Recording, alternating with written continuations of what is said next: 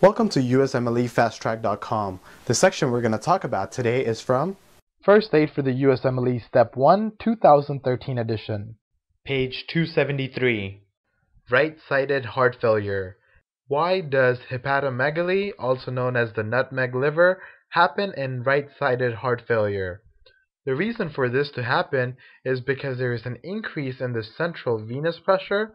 This leads to an increase in resistance to the portal flow and so this means that due to right-sided heart failure, the blood has backed up into the liver and therefore it will cause the hepatomegaly. Why does peripheral edema happen due to right-sided heart failure?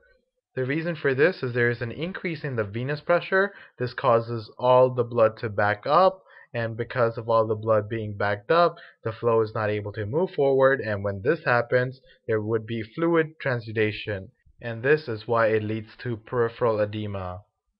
Why does jugular venous distension also happen in right-sided heart failure? Again, it's because of the same reason, there being an increase in venous pressure. This leads to jugular venous distension. For more information on this topic, click on the link in the description section below. For a full USMLE Step 1 review, be sure to check us out at usmlefasttrack.com where we help you review the entire first aid for the USMLE Step 1 with high quality videos and hundreds of detailed pictures for a better understanding of the material. So to learn from the best USMLE review book, be sure to check us out at usmlefasttrack.com.